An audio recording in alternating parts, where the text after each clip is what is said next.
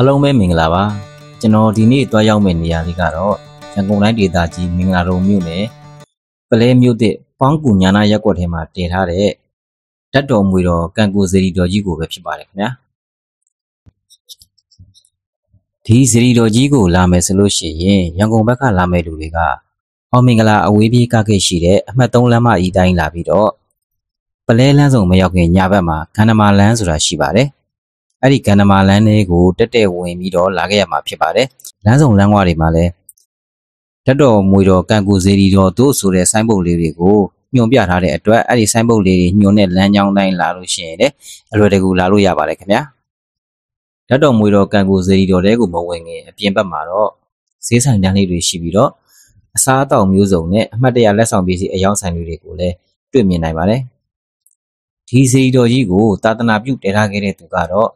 ကျေးဇူးရှင်ဗရမ ्या ဆရာတော်ဦးတုံဒရပဲဖြစ်ပါတယ်ခင်ဗျာဖះဝင်းလေးကိုဝင်လိုက်တဲ့အခါမှာတန်ရှင်းတက်ရက်နေတဲ့လမ်းမကြီးနဲ့အဖြူရောင်ဇီဒီတော်လေးတွေကိုစပြီးတွေ့မြင်ရမှာဖြစ်ပါတယ်ဖះဘူးဧည့်သည်တွေများနေပြီမဲ့လည်းကျေဝန်းတဲ့ကားပါကင်တွေရှိတာကြောင့်ကံကူဇီဒီတော်ကြီးစီကိုလာရောက်တဲ့ဖះဘူးကားတွေအတွက်လည်းနေရာအခက်အခဲမရှိရင်းရနားနိုင်ပါတယ်ကဲအခုကျွန်တော်တို့နဲ့အတူတူဓာတ်တော်မွေတော်ကံကူဇီဒီတော်ကြီးကို အတူတူဖူးမြော်ရအောင်လို့လိုက်ခဲ့ကြပါဦးလို့ဖိတ်ခေါ်ပါတယ်။ကဲကျွန်တော်တို့အတူတူဖျားဖူးကြရအောင်လိုက်ခဲ့ကြပါဦးခင်ဗျာ။စေရီတော်ကြီးရဲ့ရင်မြင်တော်ပေါ်မှာတော့စေရီဖြူဖြူလေးတွေကိုစီတန်းပြီးတည်ထားတာကိုတွေ့ရပါတယ်။ရင်မြင်တော်အလယ်မှာတော့ပင်မစေရီတော်ကြီးတဆူရှိပါတယ်။အဲ့ဒီစေရီတော်ကြီးကိုပကံဖျားသုံးစုရဲ့ဘိတုကာပုံစံကိုပြညမ်းပြီးတိဆောက်ခဲ့တယ်လို့သိရှိခဲ့ရပါတယ်ခင်ဗျာ။ ညံတော်108ပေအမြင့်ရှိတဲ့ပင်မဇရီတော်ကြီးရဲ့အောက်ခြေကိုတော့အာနန္ဒာဖျားပုံစံတည်ထားပြီးဇရီတော်ကြီးရဲ့အလယ်ပိုင်းကိုတော့ဆူလာမဏိဖျားရဲ့ပုံစံကိုတည်ထားခဲ့ကြောင်းသိရှိရပါတယ်။ဇရီတော်အထက်ပိုင်းကိုတော့တပညုဖျားပုံစံကိုပုံစံယူတည်ထားခဲ့တယ်လို့သိရှိမှတ်သားခဲ့ရပါတယ်ခင်ဗျာ။ဇရီတော်ကြီးရဲ့အတွင်းဘက်ပိုင်းမှာတော့ကကုတန်ကောနာကုံကတ္တပဂေါရမအစရှိတဲ့ပွင့်ခဲ့ပြီးတော့ဖျားလေးစုကိုရည်ရွယ်ပြီးမတ်တရရုပ်ပွားတော်မြတ်လေးစုကို တီထားအပူဇော်ခံရတာကိုဖူးတွေ့ခဲ့ရပါတယ်။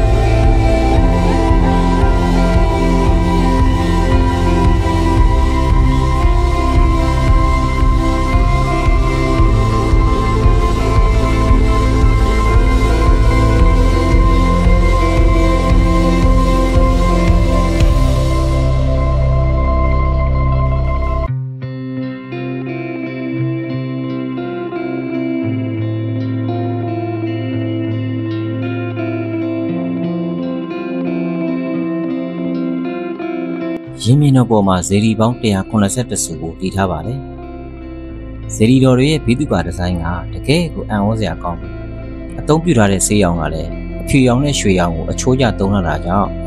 မြင်လိုက်ရတဲ့လူတိုင်းအတွက်ရင်သက်ရှုမောစရာကောင်းလွန်းလာပါတယ်။ကျွန်တော်အမြင်မှာတော့တည်ထားတဲ့182စုသောဇေဒီလေးတွေကမန္တလေးတောင်ကြီးကကုသိုလ်တော်ဖရားတွေရဲ့ပုံစံဒီဇိုင်းနဲ့လည်းတူနေတယ်လို့ထင်မိပါတယ်။ ကဲအခုကျွန်တော်တို့တွေရင်မင်တော်ပတ်လည်ကိုရှောက်ကြည့်ကြရအောင်လို့အတူလိုက်ခဲ့ကြပါဦးခင်ဗျာះ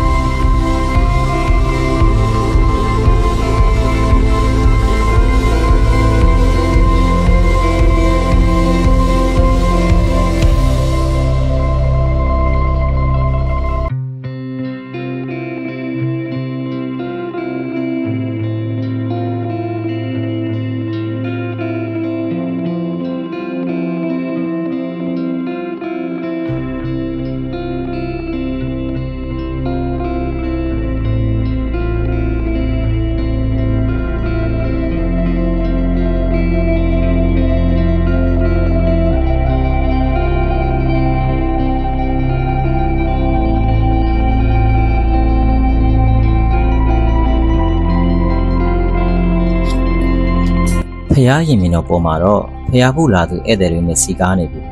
တချို့တွေကလည်းပျော်ပျော်ပါပါအမှတ်တရဓာတ်ပုံတွေရိုက်နေကြတာကိုတွေ့ခဲ့ရပါတယ်ဒီဇရီတော်ကြီးမှာတတိထားမိတာတစ်ခုကတော့အလှခံဌာနရဲ့လို့သီးတန့်ထားရှိတာတာမျိုးကိုလည်းမတွေ့ခဲ့ရပါဘူးဇရီတော်ကြီးအတွင်းပိုင်းမှာသာအလှခံပုံလေးတွေထားရှိပြီးတရားကြည့်ပြီးလို့တက်နိုင်တဲ့လှူဒန်းနိုင်ဖို့ကိုပဲစီစဉ်ပေးတာကိုတွေ့ရှိခဲ့ရပါတယ်အခုကျွန်တော်တို့တွေဇရီတော်ကြီးရဲ့ရင်မြေပေါ်မှာလက်ပတ်ကြည့်ရှုပြီးပြီဆိုတော့ ဇရီတော်ကြီးကိုအပြင်ဘက်ကနေကြည့်ရှုဖူးမြော်ဖို့အတွက်ဆက်ပြီးသွားလိုက်ပါဦးမယ်လိုက်ခဲ့ကြပါဦးခင်ဗျာ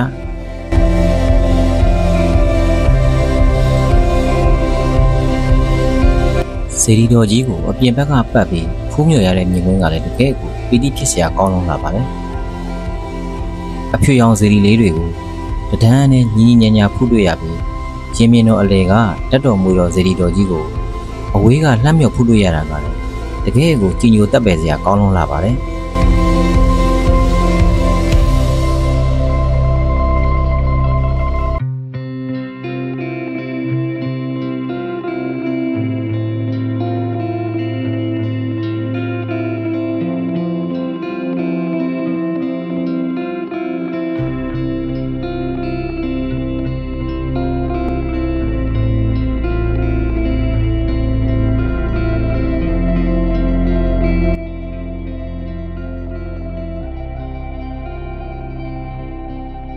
ဇီတော်ကြီးရဲ့တစ်ဖက်ချမ်းမှာတော့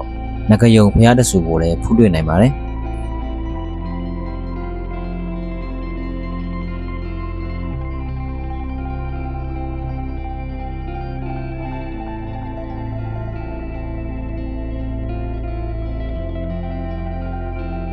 အဲ့ဒီနောက်ကျွန်တော်တို့တွေဥက္ခင်လန်းလေးအတိုင်းလျှောက်လာကြပြီဓာတ်တော်တိုက်ရှိတဲ့ဘက်ကိုထွက်လာခဲ့ကြပါတော့တယ်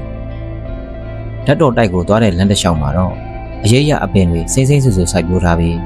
ဖျားဖို့ဧည့်သည်တွေအပန်းဖြင့်အနားယူနိုင်ဖို့အတွက်ထိုင်စရာခုံတန်းလေးတွေကိုလည်းပြုလုပ်ဖန်တီးပေးတာပါတ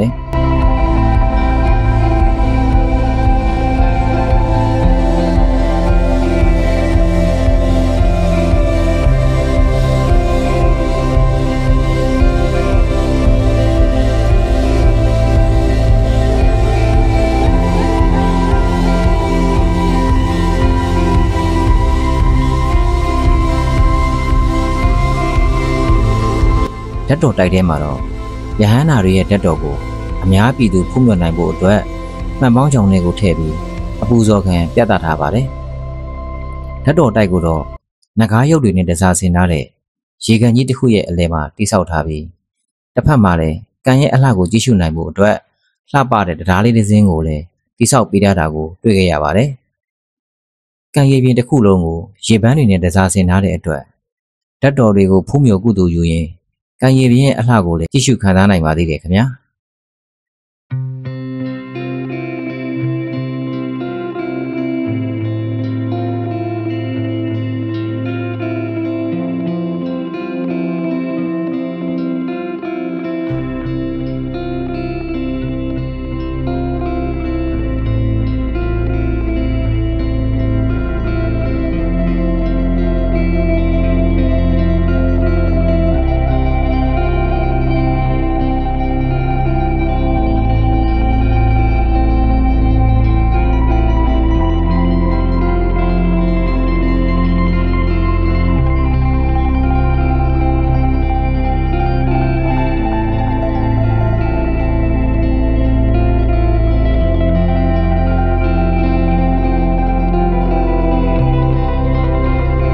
တော်တို့ဖူးမြော်ကုသိုလ်ယူနေကြတဲ့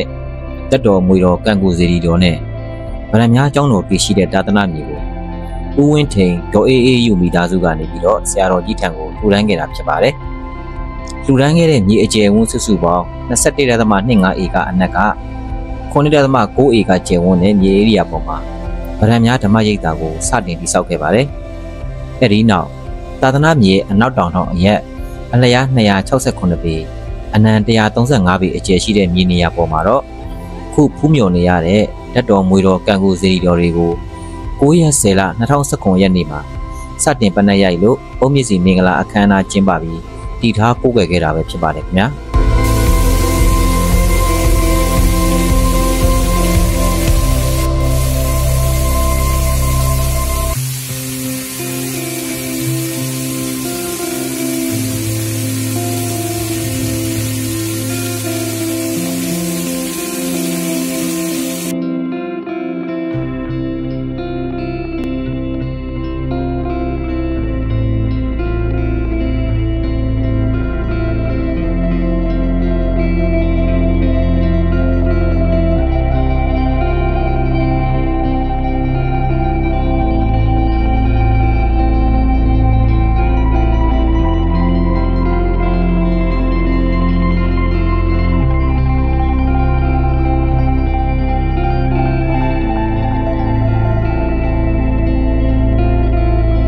အခုဆိုရင်ကျွန်တော်တို့တွေဖះလဲဖူးပြီးပြီဓာတ်တော်တိုက်မှာလဲဓာတ်တော်တွေကိုတွားပြီးတော့ကြည်ညိုပူဇော်ပြီးွားပြီဆိုတော့ဒီဖះဝင်းရဲ့အပြင်ဘက်မှာဈေးတန်းလေးတစ်ခုရှိတယ်ပေါ့နော်အဲ့ဒီဈေးတန်းလေးကဘာလေးရှိမလဲဘာလေးဝယ်လို့ရနိုင်လဲတွားကြည့်ဖို့ကျွန်တော်တို့နဲ့အတူတူလိုက်ခဲ့ကြပါဦးလို့ဖိတ်ခေါ်ပါတယ်တော့ဒီဖះကြီးရဲ့တစ်ဖက်မှာဆိုလို့ရှိရင်ဖះဘူးလာတဲ့ဧည့်သည်တွေခိတ္တခဏအနားယူအပန်းဖြစ်နိုင်မှုအတွက်နားဖို့ဆောင်လေးစောက်ထားတာကိုလည်းကျွန်တော်တွေ့ခဲ့ရ ပါတယ်ကျွန်တော်တို့အခုထွက်လာတဲ့အချိန်လေးပေါ့နော်ဒီစရီတော်ကြီးစီကိုလာကြတဲ့ဖះဘူးကားတွေကစီးပြီးစီးပေါ့နော်အများကြီးဝင်ရောက်ပုံမြင်နေတာကိုလည်းကျွန်တော်တွေ့ခဲ့ရတယ်ဖះဘူးဧည့်သည်တွေကလည်းဟိုမနှဲဝါဘူးပေါ့နော်များတဲ့ထက်များလာတာပဲကျွန်တော်တွေ့နေရတယ်ပေါ့ကဲအခုဆိုလို့ရှိရင်ဒါဇေဒန်လေးကိုကျွန်တော်တို့ရောက်ပြီပေါ့နော်ဒီဇေဒန်လေးမှာဆိုလို့ရှိရင်မြမရိုးရမဟုတ်ပဲတည်ရစားတွေအပြင်အခုကျွန်တော်တွေ့နေရတာကကြက်ကောင်လုံးကင်တွေ ယူရီးယားမရှိတ်ဆိုင်လေးတွေနဲ့ဒီအမှတ်တရအင်ကြီးရောင်းတဲ့ဆိုင်လေးတွေအများကြီးရှိတယ်ဖះထဲမှာနေလူစီတာမဟုတ်ဘူးနော်ဒီဇေဒန်လေးမှာလည်းလူကတော်တော်လေးကိုစီတယ်ရောင်းတာကလည်းအစုံပဲဆိုတော့ဒီကိုလာတဲ့လူတွေကအထဲမှာဖះဖူးပြီးလို့ရှိရင်ဒီဈေးလေးကိုလာပြီးတော့ဒီအိမ်ပြန်လက်ဆောင်တွေဝယ်ကြတာပေါ့ပြီးတော့ဒီမှာငချင်ရောင်းတဲ့ဆိုင်လေးလည်းရှိသေးတယ်ကဲကျွန်တော်တို့တွေဟိုဘက်အစုံနာထိရှောက်ကြည့်ကြအောင်နော်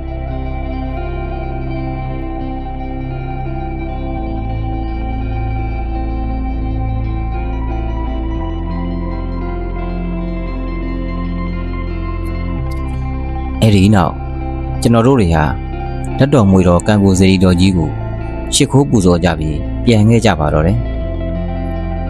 ပြန်ခဲ့တဲ့လမ်းတစ်လျှောက်မှာလဲဒီစေရီတော်ကြီးကိုသာသနာပြုတည်ထားပြီးတော်မူခဲ့တဲ့ကျေးဇူးရှင်ဗရမ ्या ဆရာတော်ကြီးဥဒုံဒရာကိုလည်းစိတ်ထဲကနေရီမန်းလို့ဆရာတော်ဒီထက်ပိုပြီးသာသနာပြုနိုင်ပါစေလို့တောင်းဆုပြုရင်အကြိမ်ကြိမ်ဥချကြော့ခဲ့ပါတော့လေခင်ဗျာအားလုံးပဲကိုယ်စိတ်နှဖျား ကျမ်းမာချမ်းသာကြပါစေခင်ဗျာ